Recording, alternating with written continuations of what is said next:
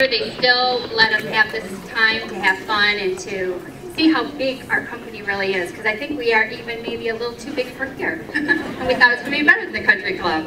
Um, I also wanted to welcome all the new employees. So I kind of wanted to just kind of get a feel for where all the new employees are. So could everybody stand that's new so we can welcome you to your first TLC party.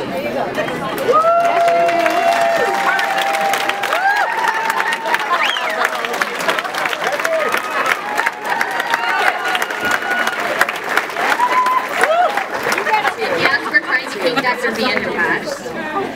I'm putting the pressure on um, normally, we give away Red Wings tickets. It's the annual tradition, and anybody that knows me knows I love tradition. But unfortunately, with the situation with hockey this year, we couldn't do that.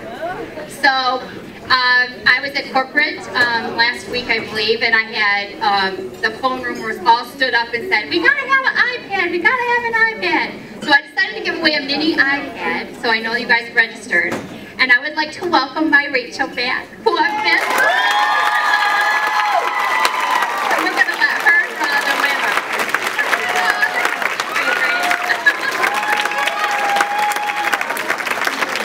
Amy Moore. Amy, you just won. And she's the one that said she had to have an iPad.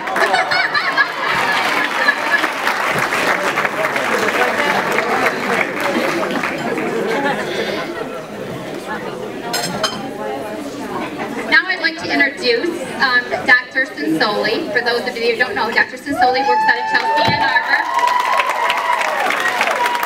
And he is also, um, this year, um, for 2013, he is our new uh, board chair for TLC Michigan. So he's going to be our host.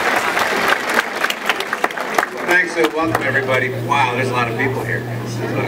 This is, uh, great. I can think, uh, it wasn't too many years ago, this was a much smaller room with much fewer people. Wonderful to see everybody here. Um, and it's really the people, it's, it's everybody here that makes a difference in our practice. I was actually, I called in on Thursday, which was Thanksgiving was last week, to see a patient of Dr. Katz's. Jamie. Dr. Katz lives in um, West Bloomfield, a real far north in practice.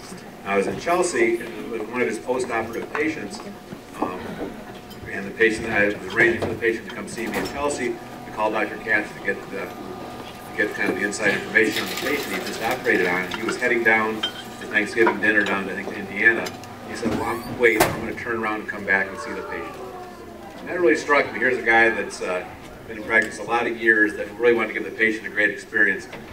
Going to delay his, his uh, Thanksgiving dinner with his family, you know, extended family out of state to turn around and saw the patient. Everything turned out to be okay, but um, it's that kind of dedication that we have, I think, at all levels in the practice, which is really wonderful. And people are just so helpful to me in making my job a lot easier. We keep, I think everybody keeps the, the patient first, keep, keeps that in focus in mind, and that's what makes us a, a great organization.